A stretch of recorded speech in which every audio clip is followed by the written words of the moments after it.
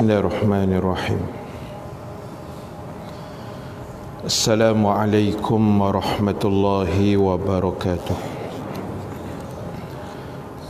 الفاتحة أعوذ بالله من الشيطان الرجيم بسم الله الرحمن الرحيم الحمد لله رب العالمين الرحمن الرحيم مالك يوم الدين نستعين اهدنا الصراط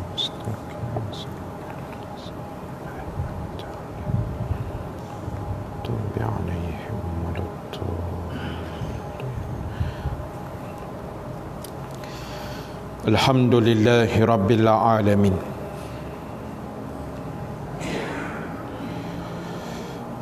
الذي أرسل رسوله بالهدى ودين الحق liyuzahirahu ala dini kullihi walau karihal kafirun أشهد أن لا إله إلا الله وحده لا شريك له وأشهد أن محمدا عبده ورسوله اللهم صل وسلم وبارك على سيدنا محمد صلى الله عليه وسلم وعلى آله وأصحابه أجمعين. ربنا افتح بيننا وبين قومنا بالحق وأنت خير الفاتحين. fasayakfikahumullah. Wa huwas samiul alim. Amma ba'd. Sahabul kiram tuan-tuan imam tuan-tuan bilal Pengurusi dan seluruh ahli jawatan kuasa masjid muslimin muslimat hadirin hadirat yang dirahmati Allah Subhanahu wa taala sekalian. Alhamdulillah taala kita memanjatkan kesyukuran kehadrat Allah Subhanahu wa taala dengan izinnya kita dapat sama-sama berhimpun pada pagi ini setelah kita selesai mendirikan solat fardu subuh secara berjamaah mudah-mudahan diterima dan dimakbulkan Allah Subhanahu wa taala insya-Allah. Muslimin muslimat sekalian Marilah kita mengambil sedikit ruang masa yang ada pada pagi ini. Berbetulan cuti hari wilayah dan hari Sabtu. Untuk kita saling ingat mengingati di antara satu sama lain. Untuk kita membaca dan mendengar ayat-ayat Allah subhanahu wa ta'ala. Dan juga hadis-hadis Rasulullah sallallahu alaihi wasallam Mudah-mudahan dapat kita jadikan sandaran dan pengajaran di dalam kehidupan kita sebelum kita dimatikan Allah Subhanahu wa taala insya-Allah. Muslimin muslimat sekalian, pagi ini saya nak bacakan sepotong firman Allah Tuan-tuan, ibu-ibu boleh rojok dalam surah Al-Maidah. Surah nombor 5 ayat 35. Surah Al-Maidah ayat 35. A'udzu billahi minasyaitonir rajim. يا ايها الذين امنوا اتقوا الله وابتغوا اليه الوسيله وجاهدوا في سبيله لعلكم تفلحون firman Allah Subhanahu wa taala ya ayyuhallazina amanu wahai orang-orang yang beriman. Tuan-tuan ibu-ibu sekalian bila kita rajin membaca al-Quran kita pasti akan sentiasa bertemu dengan lafaz yang berkenaan. Lafaz ya ayyuhallazina amanu yang diulang-ulang sangat banyak dalam Al-Quran. Dengan maksud wahai orang-orang yang beriman. Dan perkataan itu kata ulama-ulama tafsir adalah satu potongan lafaz. Atau kita panggil seruan.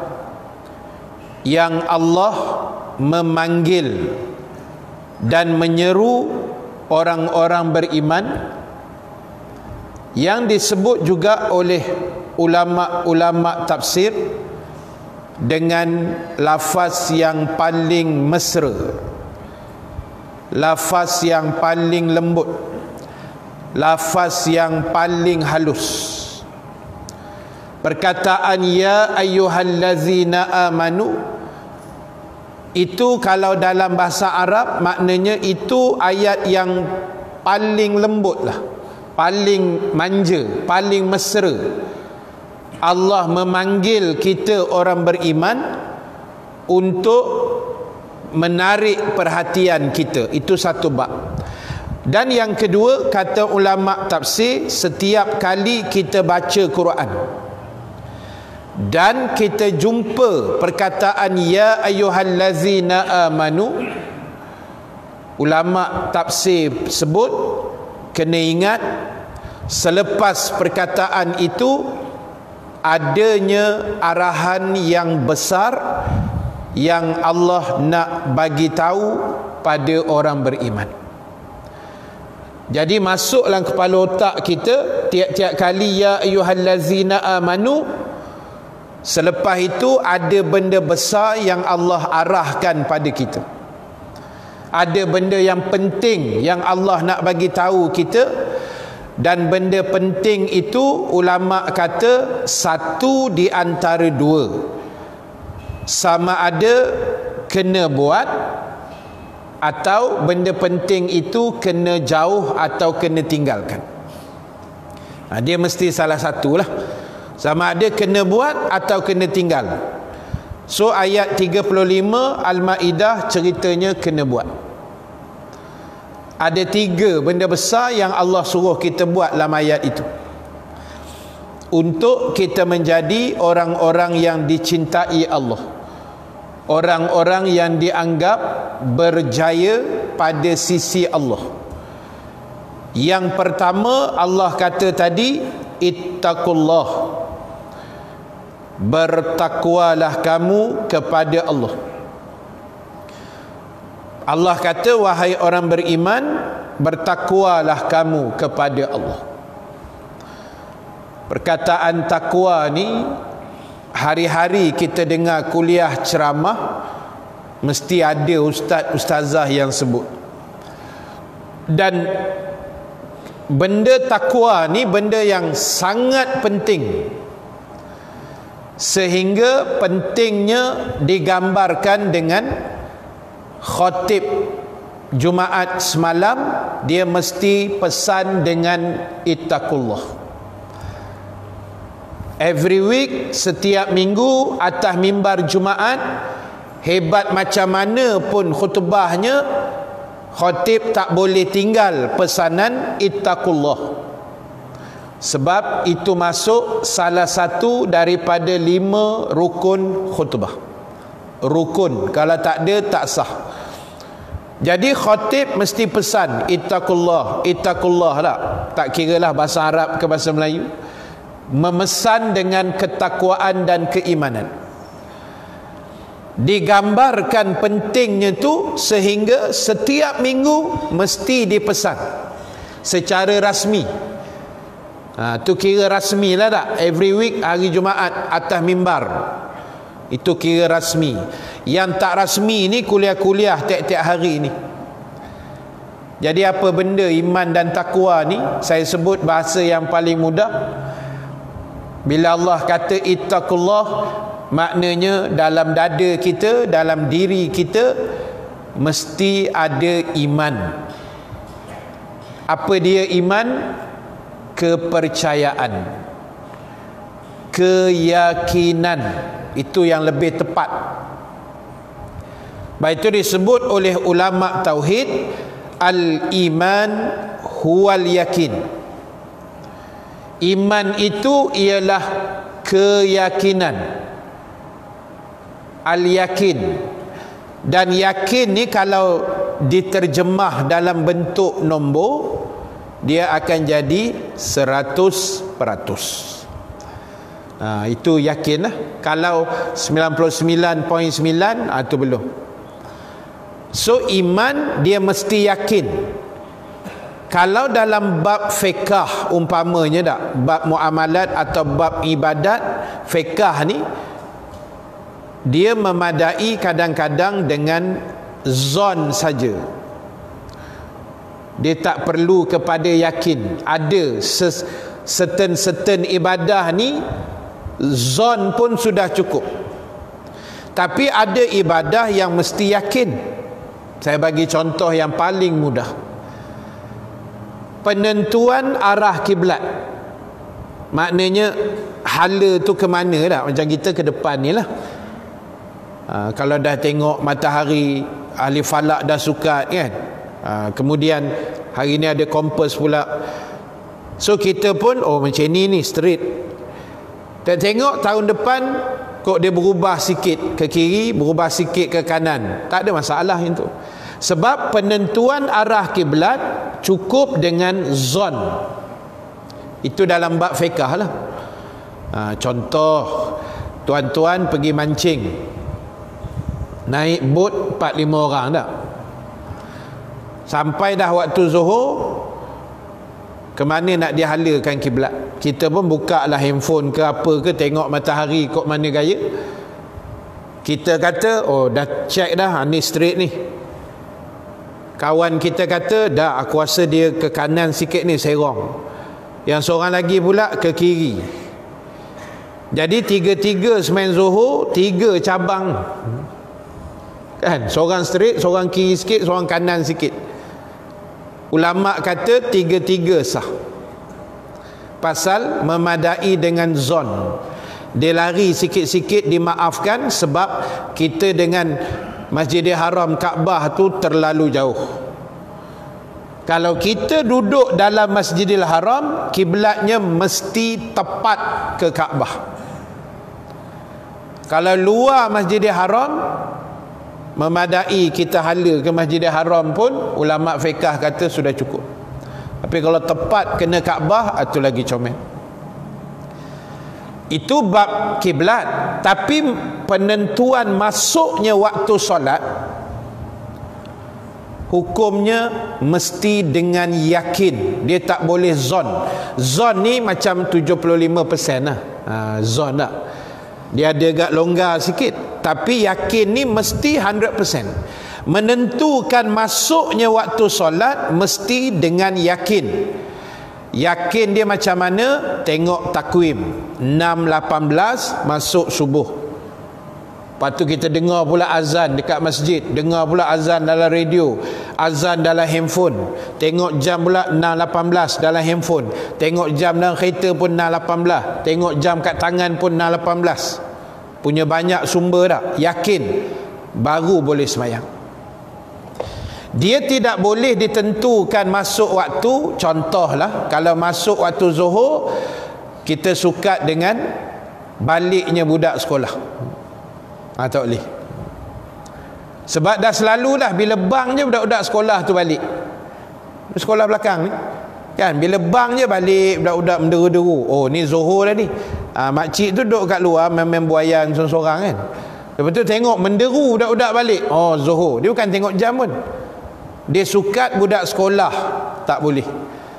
Takut hari tu budak balik awal pukul 10 latihan kebakaran.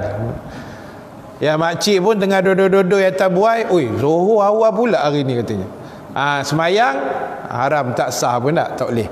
Atau masuknya waktu asar disukat dengan contoh mamak jual roti lalu yang naik motor tu kan. Ha, pin pin oh ni selalu gitu lah bila bang asar je mamak tu pun lalu.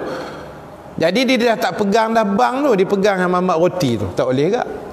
Mamak tu suka hati dia, dia nak lalu ke apa kan.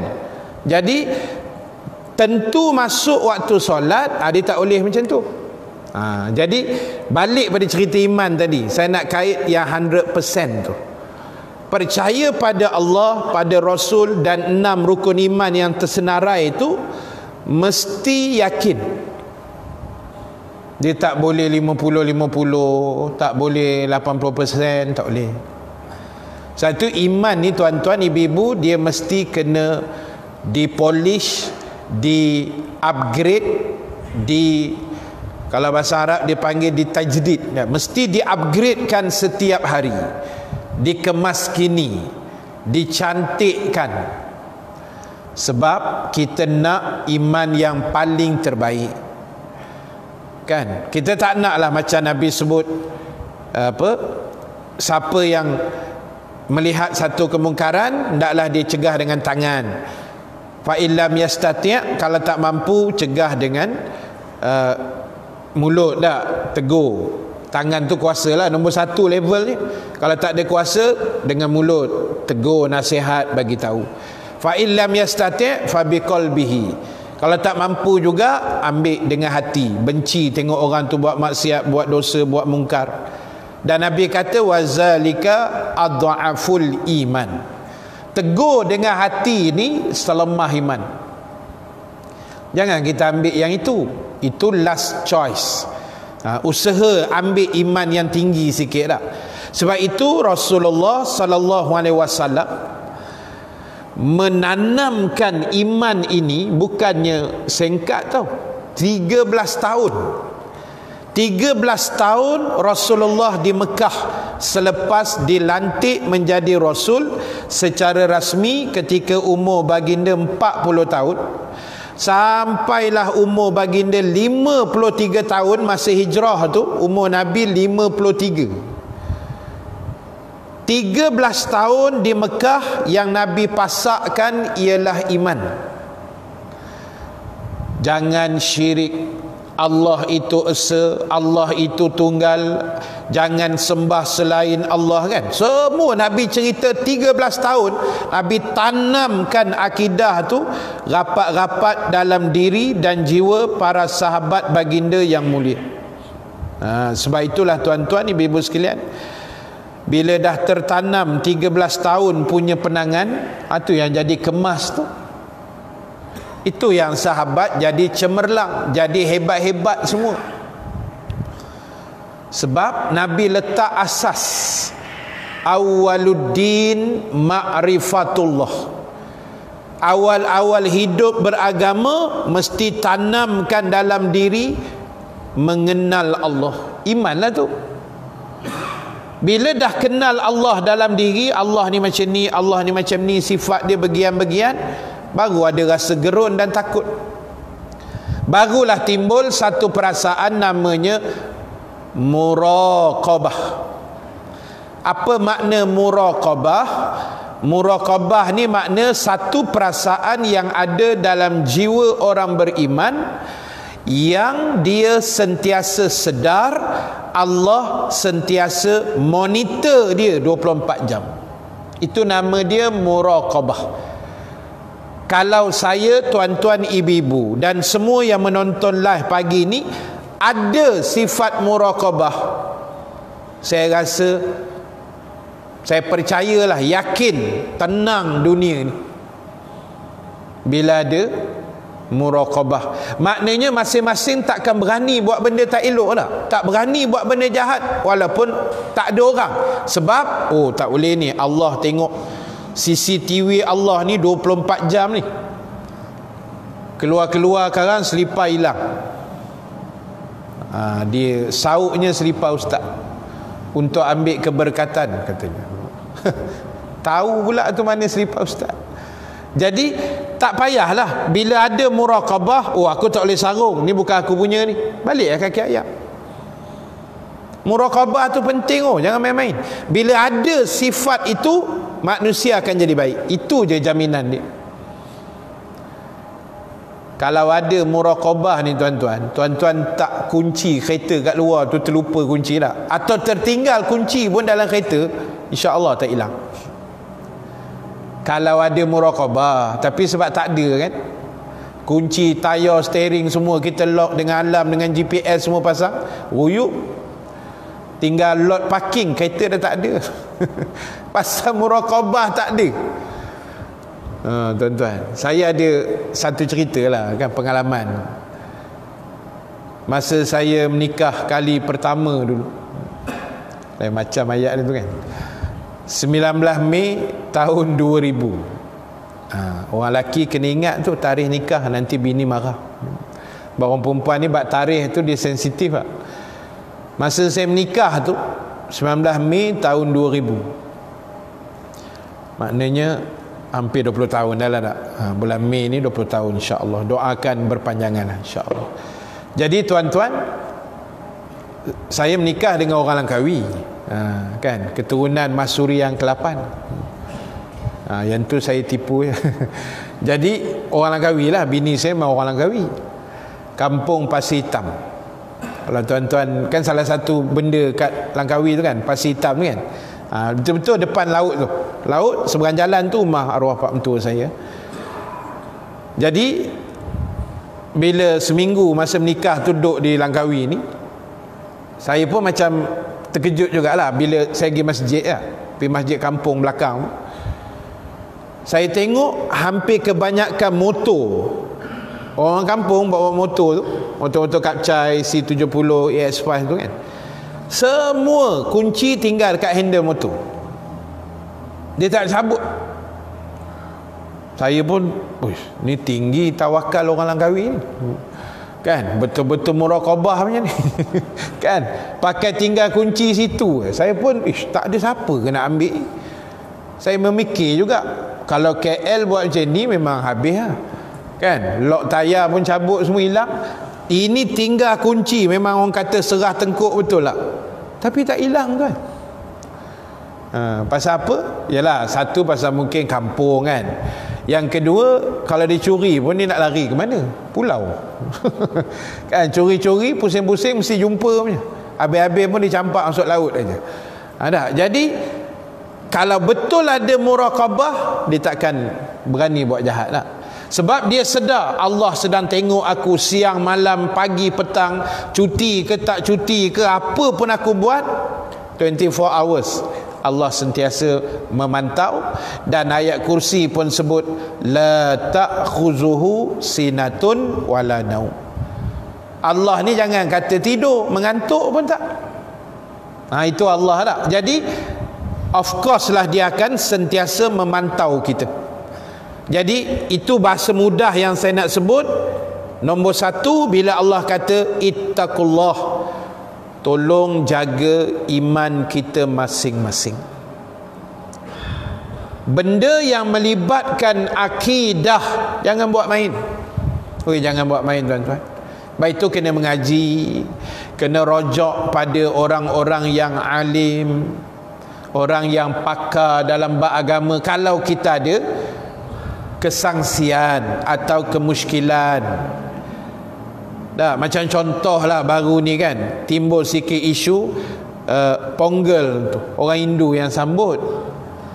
Dan orang Melayu pula teringin tu pasal apa? Benda tu telah difatwakan oleh Jakim pada tahun lepas Februari ke Mac macam tu lah. Sebab kita kena faham ada benda yang melibatkan orang non muslim contoh orang Cina orang India. Itu yang antara kaum terbesar di Malaysia selain Melayu lah. Sebab kita ni majmuk kan. Ada Cina India Melayu. Itu tiga etnik terbesar. Ada benda yang kita boleh raih ada benda yang tak boleh. Itu kena faham. Dan kalau boleh raih pun kena tengok juga dia punya batasan tu setara mana Contohlah macam baru ni. Uh, Tahun baru Cina. Tahun apa tahun ni? Ha, tikus. Maknanya prihatin lah tu. Tahu tahun tikus lah. Ha, Baguslah kita tahulah Ada ilmunya. Cuma Boleh tak ustaz Ucap selamat tahun baru Cina pada jiran? Boleh. Sebab itu budaya Bukan melibatkan keagamaan. Macam Ponggel tadi tu telah difatwakan itu melibatkan upacara keagamaan dia. Dia masak susu eh, dengan nasi beras ke macam mana untuk disembahkan pada dewa matahari. Itu dia punya kepercayaan dia. Kalau ubat agama kita syirik lah benda tu. Weh, nak juga sama-sama gaulkan beras tu. Baik gaul beras kat rumah aja Lepas tu makan dengan anak bini lagi bagus tak? Tak ada dosa pun, dapat pahala. Benda telah difatwakan haram, haram tu sebab ada unsur macam itu. Kalau sekadar depa Bali, depa Bali ni dia panggil budaya pesta cahaya. Kalau nak ucap sekadar ucap pada jiran tanda kita berjiran semangat sekadar ucap tak apa tak ada masalah Tai pusam tak boleh. Pasal itu agama. Eh sama pula pikul kabadi tu Naik ke batu kek ke apa kerja kita Nak kena peti ke apa. Saya lalu daripada rumah Sungai Buloh tadi kan. Meriah oh batu kek ni pagi ni. Penuh dah kereta Sampai jam jugalah tadi tepi-tepi tu kan. Orang dah mula parking. Oh saya pun kata hebat gak geng-geng Hindu ni kan Bangkit awal sebelum subuh. Yang orang Melayu tak bangkit pula. Tak bangkit pula sebelum subuh tak. Ha, Jadi tak tahulah pagi ni dia ada apa benda Tak pastilah. Tapi banyaklah kereta tadi. Bas pun penuh kan. Ha, Jadi tuan-tuan Itu kena mengaji tu Dan ini melibatkan iman. Jangan atas oh ini perpaduan, ini toleransi. Kena tengok juga tuan-tuan. Jangan main toleransi aja semua. Kalau tidak takkan Allah buat turun surah Al-Kafirun? Qul ya ayyuhal kafirun. Bila Abu Jahal kautim dengan Nabi kan? Dia dah pening macam manalah nak buat ke Muhammad ni. Dakwah 24 jam tak kira orang dia kata. Jadi nak slow down kan Nabi ni kita kautim. Wahai Muhammad macam inilah kata Abu Jahal. Tahun ni satu tahun kami sembah Allah kita sama-sama lah perpaduan. Tahun depan next year engkau pula sembah berhala. Gila babi tu yang ni. Dia ingat Nabi tu apa benda? Ajak-ajak bincang macam tu. Tahun ni sembah berhala ramai-ramai tahun depan kami semua sembah Tuhan balik sembah Allah. Lepas tu next year tukar pula tukar. Gila-gila lah setahun-setahun. Itu yang Allah buat turun tu Qul ya ayyuhal kafirun la a'budu ma ta'budun. Kami takkan sembah apa yang kamu sembah. Wala antum a'biduna ma a'bud dan kamu juga takkan sembah apa yang kami sembah. Ujung dia lakum dinukum waliyadin. Kena faham ayat tu. Lakum dinukum waliyadin. Ah, ini pun satu hal juga. Kadang-kadang orang Melayu ambil ayat ni jadi hujah nak selamatkan diri dia. Pasal apa awak tak semayang ni? Semayanglah kita ni orang Islam kan. Kita nasihat elok-elok. Lah kali dia keluar dalil, ustaz, lakum dinukum waliyadin, ustaz. Oh sedap oh dalil oh jangan main-main ayat Quran. tak. Dia kata ustaz, lakum dinukum waliyadin. Ustaz, ustaz, saya saya jangan menyebut. Habis. Eh? Ayat tu bukan macam tu gunanya lakum dinukum waliyadin tu antara muslim dengan non muslim Maksud dia bagi kamu agama kamu. Agama jahiliah kamu, agama sesat kamu. Waliyadin bagi kami agama Islam kami. Dan ulama tafsir menghuraikan panjang lebar lagi. Bagi kamu cara hidup kafir kamu. Bagi kami cara hidup Islam kami. Bagi kamu ekonomi kamu yang ada riba apa bagi kami ekonomi kami. Itulah kum dinukum waliyadin. Bukan bila ustaz tegur ke atau imam tegur ke orang nasihat kita, kita tembak dalil tu sebab nak menyelamatkan diri. Kan? Dia baginya dalil ustaz, lakum dinukum waliyadin, satu ustaz, dalil kedua kubur masing-masing. Ha, itu yang tak tahan. Kubur masing-masing ustaz, jangan menyebuk aja. Ustaz buat kerja ustaz sudah.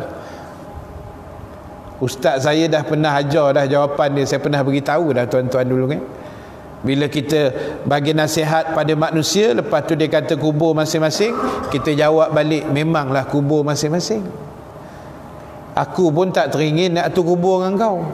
Ha, Jawab itu je Bukan pasal besok aku masuk kubur aku nak berehat makan buah-buah anggur dalam kubur. Engkau pula memekak kena rembat dengan malaikat kan? Jadi eloklah sing-sing jawab gitu je tuan. Jawab cara bodoh gitu je lah. Kan? So nombor satu itakullah tu kena jaga betul-betul tak? Mana iman dan takwa tu kena jaga. Baik yang kedua tadi Allah kata wabtaru ilaihil wasilah arahan nombor dua yang Allah suruh kita buat dalam ayat 35 Al-Ma'idah tadi carilah sebanyak mungkin jalan-jalan yang boleh dekatkan kamu kepada Allah. Sebab hidup kita ni kita nak hala ke mana lagi? Kalau tidak kepada Islam kalau tidak mendekatkan diri kepada Allah kalau tidak hidup kita ni untuk mencari redha Allah apa yang kita nak lagi? Kita kejar dunia tuan-tuan. Larat kita lama mana nak kejar dunia ni? Tak larat dah. Macam umur sebahagian besar tuan-tuan yang hadir pagi ni tak? Yang saya tengok rasa-rasa majoritinya 80% kot 50 tahun ke atas tak rasa-rasanya lah. Ada yang 25 macam saya. Ha. tak ada lah. Adalah sikit-sikit adik-adik kita. Saya pun tua dah tuan 46 dah saya ni. Tahun ni 46 lah panjang umur tak.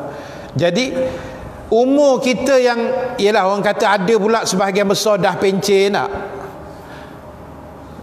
Pencen ni maknanya apa? Tua dah lah bila dah tua ni tuan-tuan pengalaman lah ada warga mas kita ni orang ada pengalaman banyak. Cerita dunia ni orang kata dah tak larat dah habis dah tak ada apa dah nak dikejarnya. Orang kata berjalan dah merata dah berjalan. Kan? Uh, nikmat dunia dah macam-macam dah rasa apa yang nak lagi dah? Tak ada apa.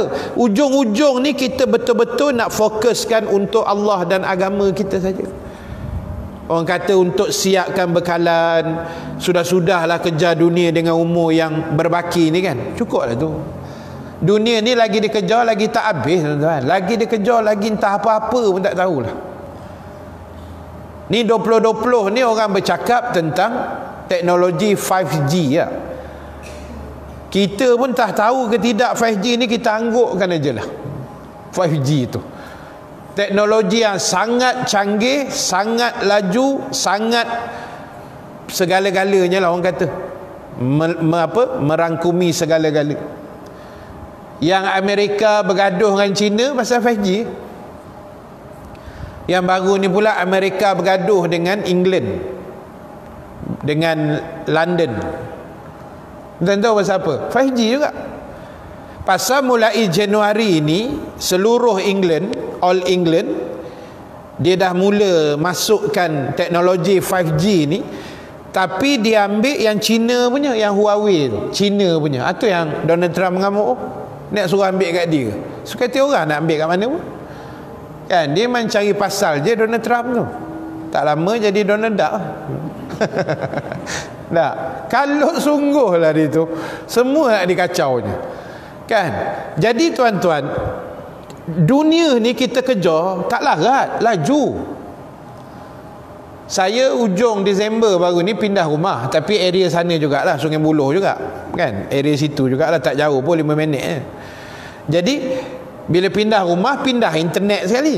Saya sebelum ni pakai Maxis uh, yang fiber tu kan broadband tu yang untuk rumah punya uh, 30 Mbps speed dia lah 30 megabyte per second.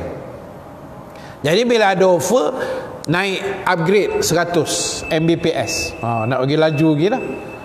Kan nak bagi sedap sikit kan tengok YouTube berapa dalam TV tu rasa tak ada buffering tak ada sangkut. Nak download pun laju tak? Sonok sikit.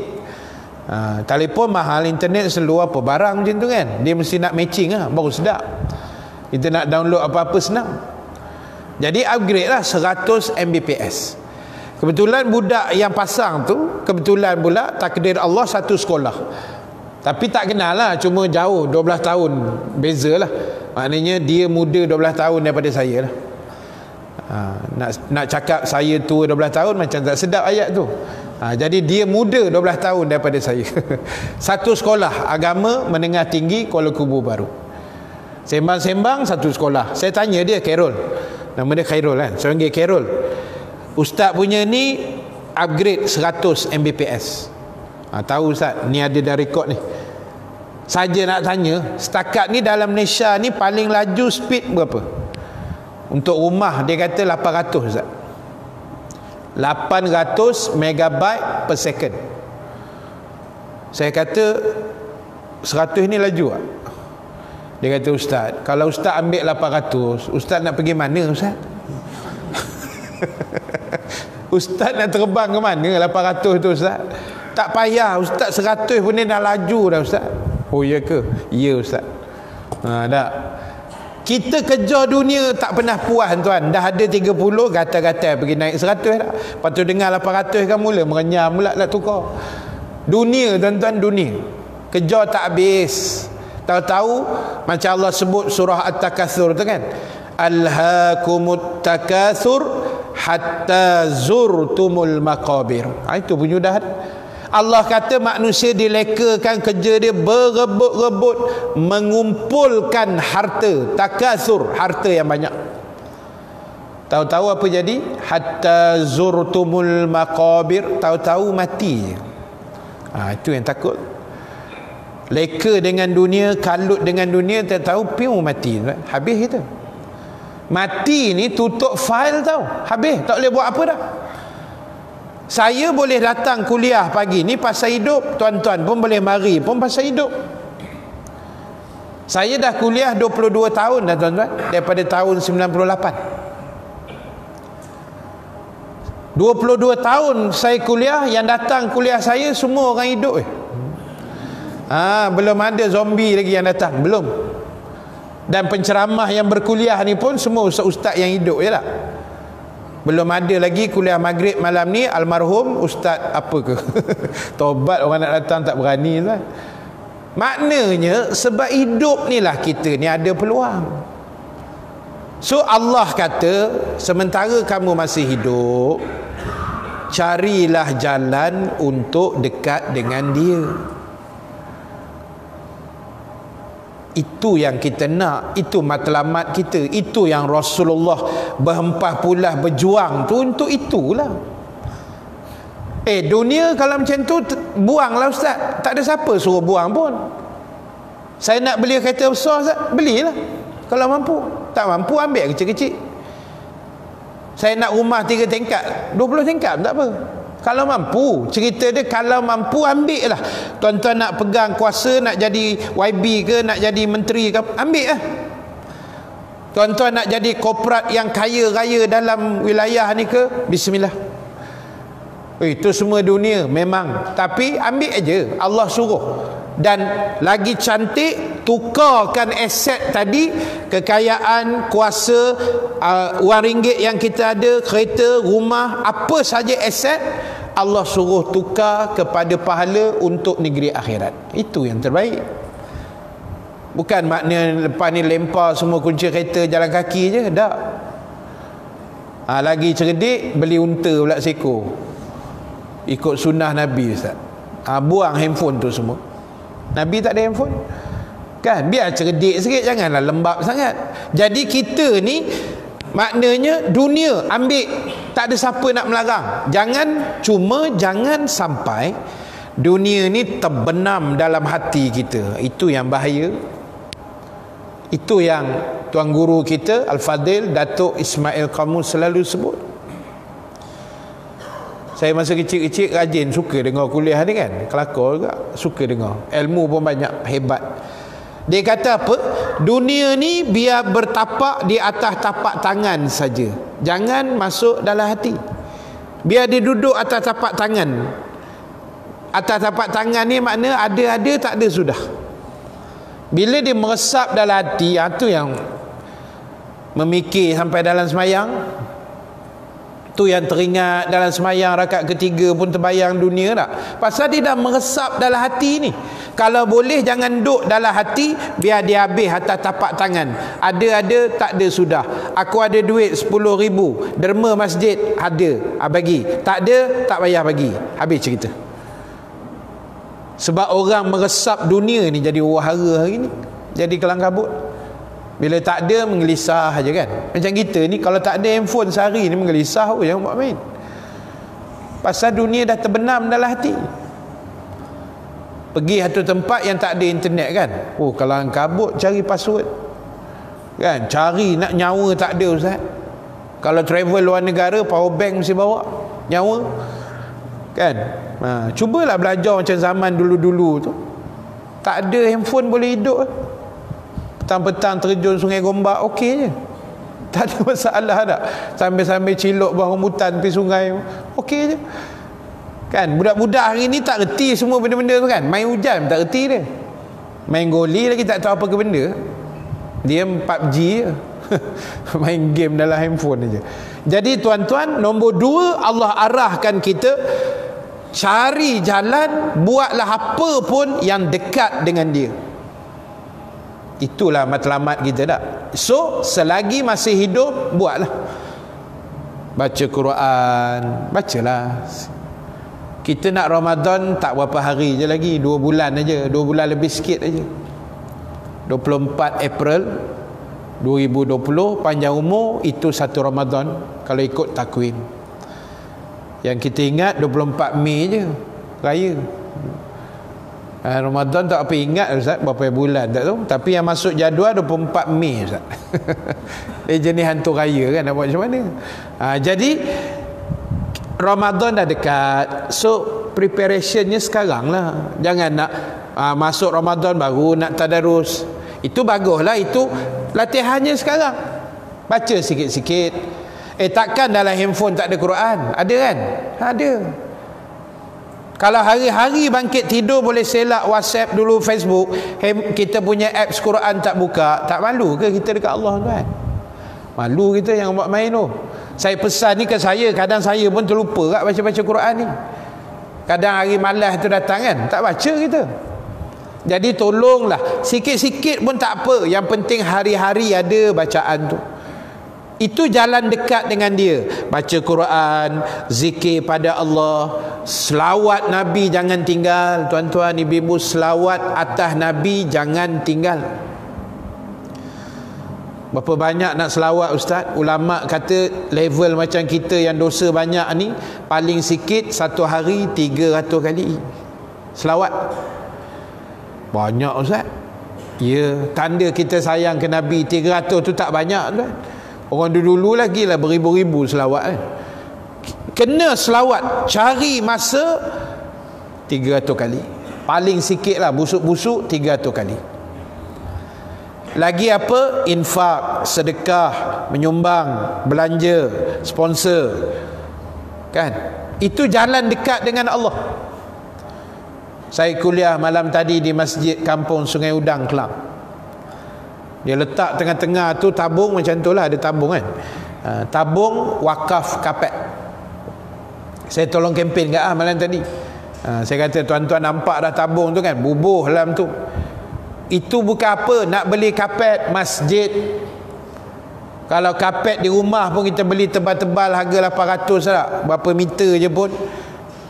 Boleh keluar duit. Ni kapet masjid besar pahala saya kata. Kita tolong kempen bayangkan kalau saham kapet tu ada dalam kapet tu kan? Saham kita ada RM5 RM10 oi makan tak habis tuan macam kapet ni ya.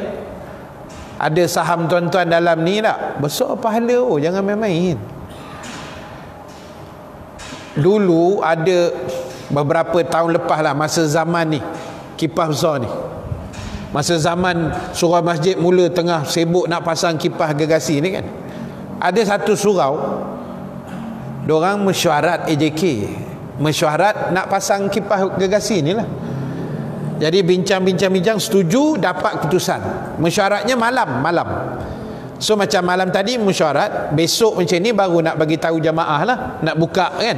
Okey kita dah dapat quotation 80 ribu Kita buka tabung wakaf Kipas gegasi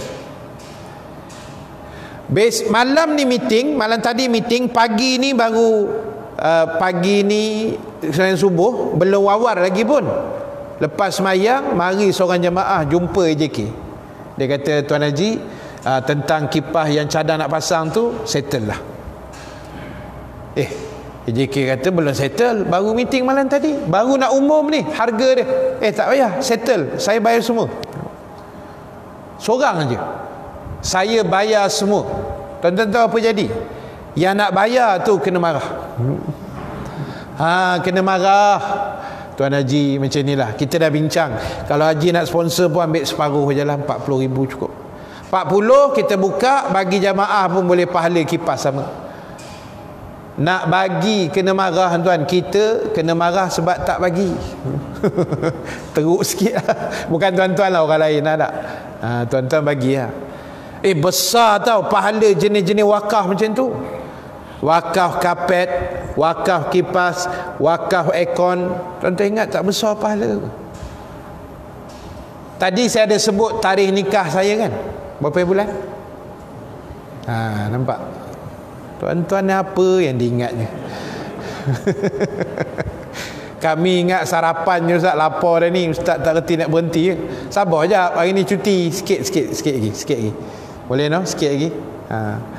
Jadi tuan-tuan 19 Mei 2000 Ingat tarikh tu senang nak bagi hadiah nanti. Ha kan anniversary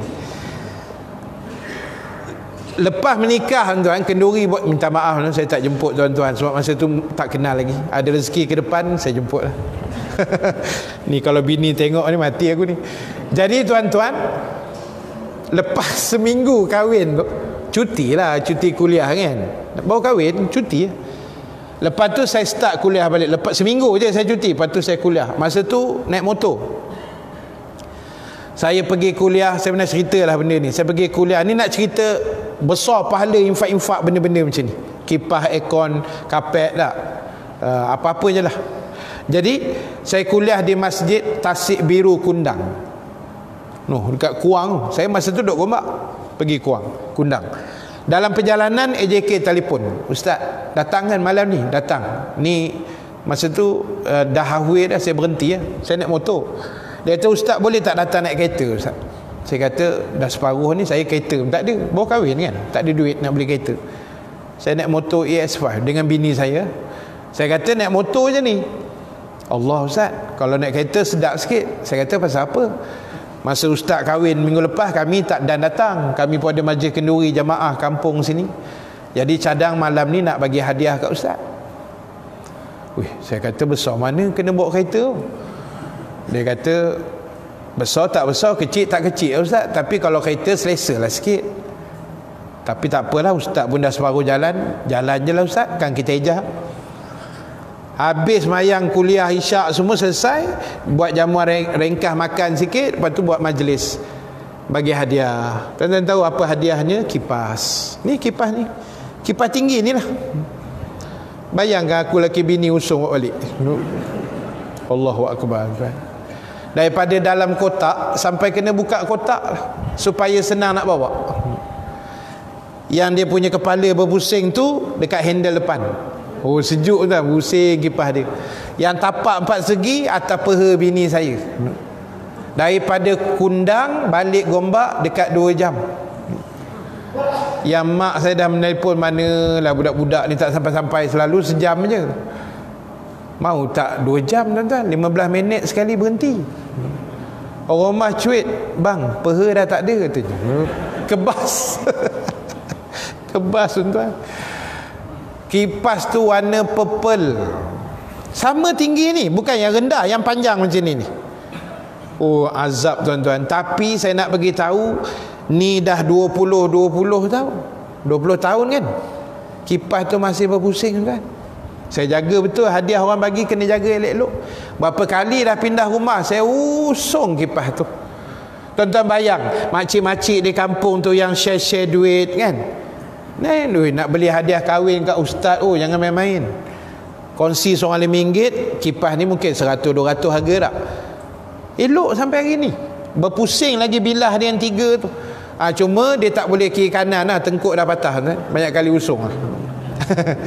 Tapi bila petik switch on Mesti menyala Setiap kali bilah tu berpusing Bayangkan pahala Makcik-makcik Pakcik-pakcik kampung Melayu kundang yang beli kipas tu Walaupun dia dah meninggal Saham kipas tu masuk ke dia Bukannya banyak modal Sengit dua je Topak-topak seorang sikit tak ini kena cerdik biar pahala tu berjalan panjang. Boleh tuan-tuan tu? Ha, itu sebahagian. So maknanya cari jalan nombor dua Allah suruh cari jalan dekat diri dengan dia. Ikutlah macam mana jalan tu pun yang dibenarkan agama. Dan yang terakhir sekali yang ketiga dalam ayat tadi Allah pesan wajahidu fi sabilihi dan Allah kata berjihadlah kamu di jalan Allah berjihad bukan makna berperang sahaja ha, berperang tu berperang lah perang yang betul lah kan bukan perang yang tak betul perang yang betul berjihad maknanya ulama bincang ialah buat kerja tu sungguh-sungguh jangan main-main itu nama dia jihad Pagi ni saya menyampaikan kuliah bersungguh-sungguh. Ha, nampak sungguhan saya tu kan? Ha, itu jihad. Saya pun tengok tuan-tuan ibu-ibu bersungguh. Memang tak boleh nafi lah. Bab mencatit semua kaum ibu lah. Sebab kaum muslimin semua level imam syafi'i. Jenis hafazan kuat punya. Betul tuan? Betul. Saya kuliah muslimat banyak tempat. Bab mencatat memang muslimat juara. Bab mengingat ni cakap masjid tuan bukan nak sindir-sindir no. Bab mengingat orang lelaki kuat. Muslimat walaupun dia kuat mencatat tapi dia kuat lupa sebenarnya. tapi bab mencatat dia memang rajin tuan-tuan. Ustaz Bedehem pun dia tulis. Ehem katanya. Dia tak ada apa nak ditulisnya. Kan? Ha, itu saya tabik ah bab muslimat ni bab mencatat memang hebat dia lah. Jadi kita ni tuan-tuan, itu bersungguh lah tu. Mengaji bersungguh. Yalah, kalau tuan-tuan saya tengah kuliah pegang handphone pun saya tak marah tuan. Pasal kita tahu kok dia tengah catat nota ke apa kan, tengah semak ayat Quran. Tak apalah kita sangka baik aja lah. Ha, jangan buat-buat main game pula, kan? Ha, buat yang betul. Jadi apa pun bersungguh. Kejap lagi sarapan ada macam biasa. Tak pernah mengecewakan. Sarapan. Bersungguh sarapan. Makan elok-elok. Makan betul-betul. Jangan main-main. Lepas tu balik memandu lagi jalan kaki ke naik kereta motor. Memandu betul-betul. Jangan sambil lewa memandu. Kita ni kami ustaz-ustaz kalau highway kami punya kereta ni lane paling kanan. Itu semua ustaz-ustaz lah tu. Dia sebab bekas pemandu Formula 1 semua kan. Mana main dia slow-slow. Ha, kan. Tiba-tiba ada pula 60 pula kat situ. Tu memang nak cari nahas lah. 60 kau duduk kiri sekali yang pergi gatai duduk kanan. Pasal apa? 60 satu hal. Tengah pegang handphone pula tu. Oh, berderap darah ni tuan. Berderau darah. Rasa nak langgar yang belakang. Betul tuan-tuan. Jangan bagi orang marah tak? Ikut aturan. Memandu-mandu betul-betul. Jangan pegang handphone. Eh berapa banyak ada orang kemalangan sebab pegang handphone pegang boleh pegang. Sambil mandu pegang. Macam tu tak apa. Ni sambil mandu tengok scroll. Ni kereta berjalan. Tak usah buat lah tuan-tuan. Keselamatan. Sesaat terleka tuan mati kan? Boleh mati. Terlanggar orang. Kalau kita je terus mati tak apa. Dilanggar orang pula. Orang lain pula mati. Ha, macam isu mabuk baru ni kan? Ha, macam-macam dilanggarnya jadi tuan-tuan bersungguh Baca Quran, baca betul-betul. Semayang subuh, semayang betul-betul. Baca kunut, tadah tangan, tadah tangan betul-betul. Pergi haji, buat haji betul-betul. Melontar, melontar betul-betul. Itu nama dia jihad. Jangan anggap jihad ni tembak orang ni bukan. Jihad ni bersungguh, bersungguh tuan. Ha, hidup ni mesti ada kesungguhan. Tak, buat betul-betul. Jadi tuan-tuan ibu-ibu sekalian itu tiga arahan besar yang Allah letak dalam surah Maidah ayat 35. Saya ulang balik nombor satu Allah suruh kita bertakwa beriman pada dia betul-betul. Nombor dua Allah suruh kita pilih jalan-jalan yang boleh dekat diri dengan dia. Dan yang ketiga Allah suruh kita bersungguh berjihad makna bersungguh-sungguh dalam apa pun kerjaya yang kita buat. Kerja dunia ke kerja agama ke buat betul-betul. Kalau bekerja 9 to 5 kerja betul-betul. Ha, kalau kita driver grab driver buat kerja betul-betul. Kita bercucuk tanam buat betul-betul. Ha, macam tu. Itu nama dia jihad dalam agama. Jadi tuan-tuan hujung ayat itu Allah kata itulah golongan yang berjaya pada sisi Allah Ha, tiga kelompok tadi itu itu orang yang Allah anggap berjaya pada sisi dia. Berjaya pada sisi kita ni lain tak? Kereta besar, orang kaya itu berjaya. Ha, itu pun tak apalah. Cuma kita nak yang penting pada sudut yang Allah tengok. Insya Allah. Jadi tuan-tuan ibu-ibu sekalian, itu yang boleh saya kongsi sedikit pada pagi ini. Mudah-mudahan Allah Subhanahu Wa Taala merahmati pertemuan kita pada pagi ini. Terima kasih banyak-banyak pada muslimin muslimat yang sudi hadir dan pada semua sahabat yang menonton live Facebook audio kuliah kita pada pagi ini. Page audio kuliah ya. Kalau tuan-tuan ada Facebook, kalau belum like audio kuliah nanti boleh like lah. Dalam tu semua ada ceramah agama saja, tak ada benda lain. Kuliah subuh, kuliah maghrib, kuliah duha, kuliah musimat, tubah jumaat, tubah raya, kursus haji, kursus mayat, semua ada dalam tu. Ceramah agama semua ada dalam tu. Yang kita buat live dari seluruh negara. Daripada Kedah ada, Pening, Perak, KL, Negeri Sembilan, Johor ada sikit, Kelantan ada. Hampir seluruh negara juga. Sabah Sarawak tak ada kita baru semenanjung. Kita punya kru-kru ni baru ada di semenanjung saja. Insyaallah kita akan lebarkan lagi sayap. Jadi tuan-tuan itu saja yang saya nak kongsi pada pagi ini. Mudah-mudahan Allah taala merahmati kita semua.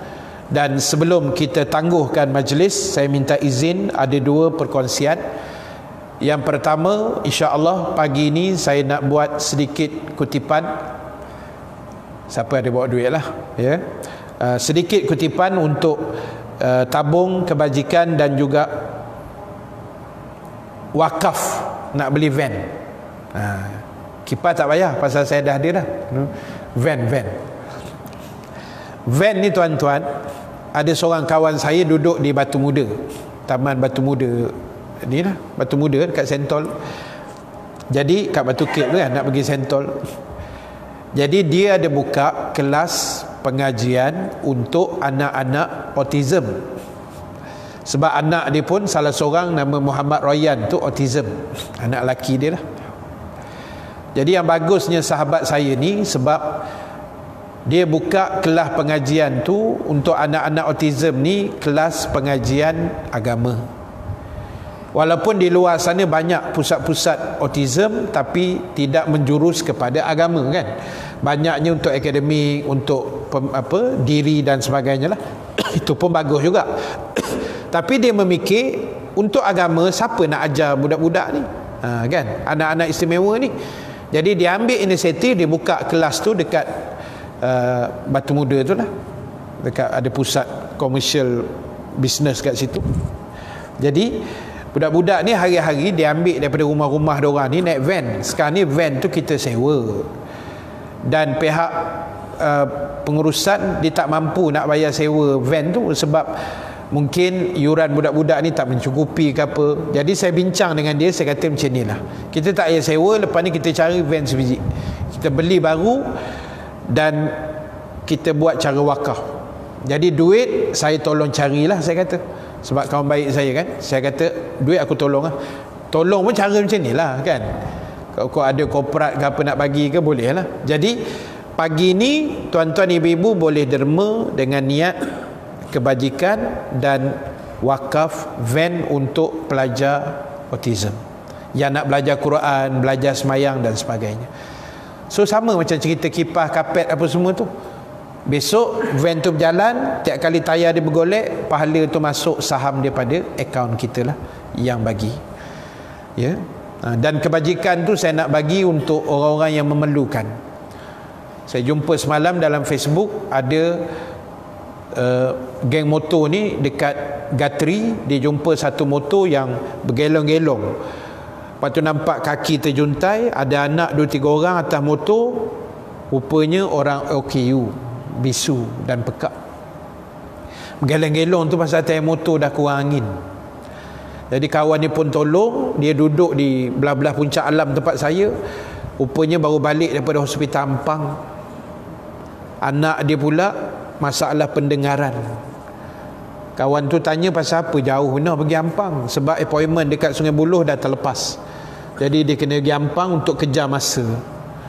Bayangkan lima beranak naik motor dengan tayar bergelong memang susah OKU jadi dia adalah bagi nombor akaun saya simpan dah lah. Ha, saya pun ada duit sikit tapi bukan duit saya pun. Duit, duit macam ni lah kutip-kutip sikit. Nanti kang balikkan saya transfer sikit lah. Kan? Ha, jadi itu guna tabung kebajikan tadi tu. Kadang kita jumpa saya dah bagi dua tiga. Dalam TV saya tengok keluar yang baru ni anak dia kena empat peti ais tu kan.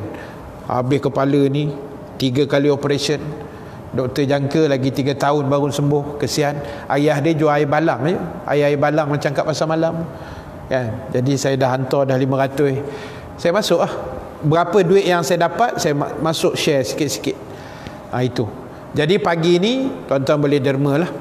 Dengan niat wakaf van tadi dengan kebajikan. Letaklah atas sejadah ke kok mana pandai-pandai. Janji saya bawa balik duit dan benda ni tidak wajib ya. Tidak wajib. Kalau tuan-tuan nak derma pun bagus. Kalau tak bagi pun elok bagilah. Ha, takut meninggal pula pagi ni kan menyesal gitu kan. Jadi bagi. Ini bukan ugut eh. Sebab kita baru belajar ya kejap ni. Infak tu. Ha, itu nombor satu. Dan nombor dua macam biasa di belakang juga di luar kita ada wakaf kitab. Ha, itu untuk wakaf kitab. Harga dia RM55. Tuan-tuan boleh wakaf, boleh tulis 10 nama di belakang kitab. Tulislah nama mak ayah kita dulu, nombor satu dua, nombor tiga empat nama mertua kita, jangan tinggalkan. Nombor enam lagi yang berbaki itu dia ada sepuluh semua. Tuan-tuan boleh letaklah nama sendiri ke nama anak ke nama arwah siapa ke boleh letak. Tulis cantik-cantik untuk mudah dibaca. Nanti tinggalkan kitab tu kami akan kumpul dan kami wakafkan semula ke sekolah pondok yang terpilih di seluruh negara. Untuk wakaf itu kalau tuan-tuan tak bawa duit ke apa, tuan-tuan boleh minta nombor akaun dekat adik yang jaga tu, nanti siang kan boleh transfer lah. Tapi kitab tu tulis dulu. Itu saja, terima kasih yang baik yang benar daripada Allah yang kurang kelemahan diri saya sendiri kita tangguhkan dulu uh, majlis pada pagi ini dengan tasbih kafarah eh, suratul as dan bacaan doa. Subhanakallahumma wa bihamdika. Nashhadu an la ilaha illa anta. Nastaghfiruka wa natubu ilaik. Bismillahirrahmanirrahim. Wal asri innal insana lafi khusr.